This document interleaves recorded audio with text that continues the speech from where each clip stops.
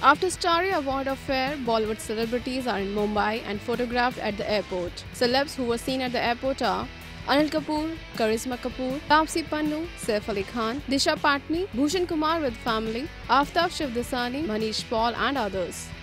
Saif Ali Khan, who was at the IIFA to host the award ceremony and looked great on a Tom Ford suit. Where all the Bollywood actresses were seen in their casual best, the Rangoon actor Saif Ali Khan was seen in a black t-shirt and track pants as he came out of the airport.